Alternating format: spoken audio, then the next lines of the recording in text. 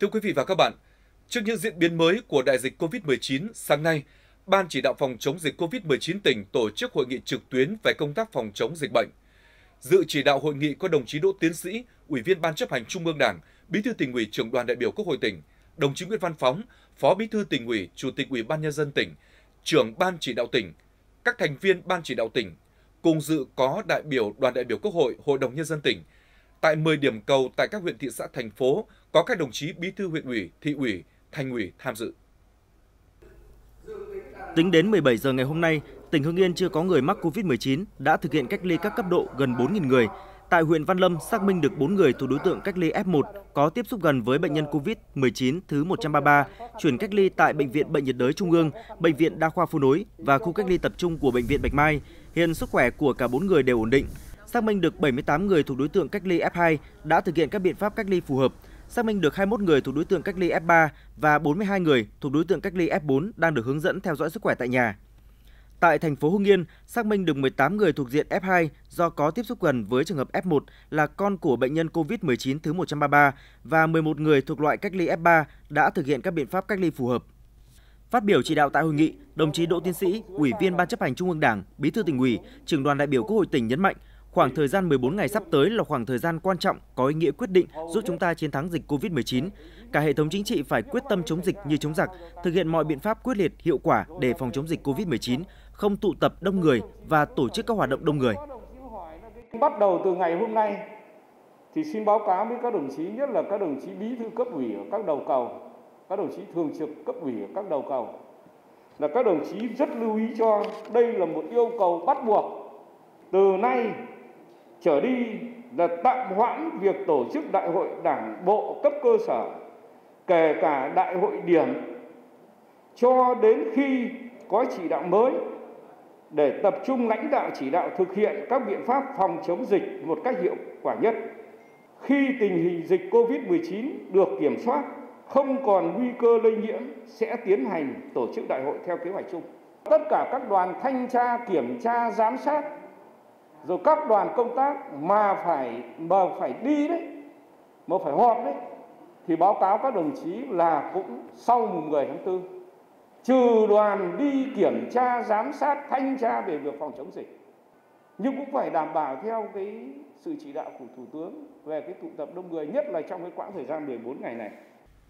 Thưa quý vị và các bạn, sau khi tiếp thu ý kiến chỉ đạo định hướng của đồng chí Bí thư tỉnh ủy Đỗ Tiến Sĩ, phát biểu kết luận hội nghị, Chủ tịch Ủy ban nhân dân tỉnh Nguyễn Văn Phóng yêu cầu 15 nhiệm vụ trọng tâm mà các cấp các ngành các địa phương cần thực hiện trong thời điểm quan trọng.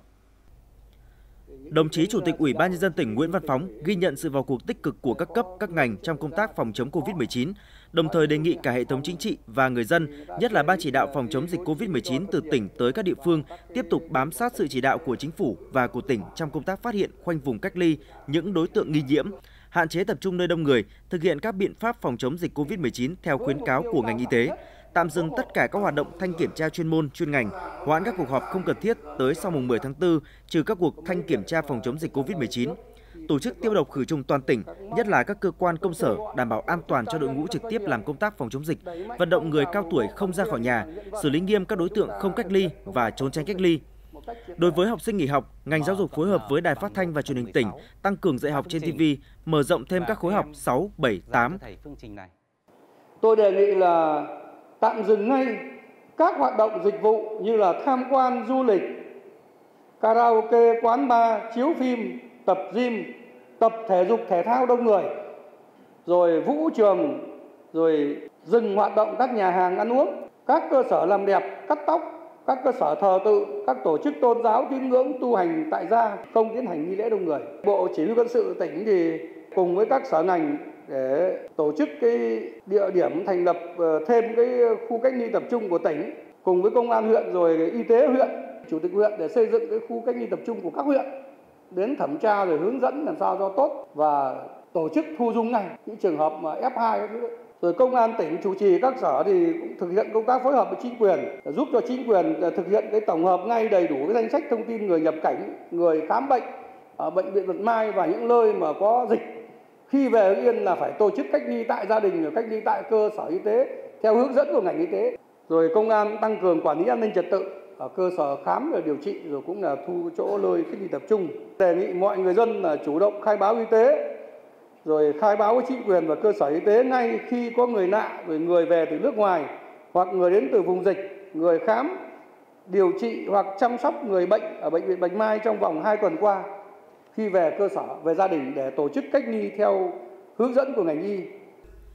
Chủ tịch Ủy ban nhân dân tỉnh yêu cầu ngành công thương nghiêm cấm các đối tượng đầu cơ tích trữ nhu yếu phẩm, vật tư thiết yếu phòng chống dịch COVID-19. Sở Y tế xây dựng phương án thu dung điều trị cho các bệnh nhân đang điều trị tại bệnh viện Bạch Mai, nhanh chóng mua máy xét nghiệm COVID-19 để chủ động trong phát hiện cho người bệnh. Ngành nông nghiệp làm tốt công tác dự tính dự báo, đảm bảo năng suất chất lượng cho diện tích cây trồng vật nuôi, không để dịch bệnh bùng phát ở đàn gia súc gia cầm.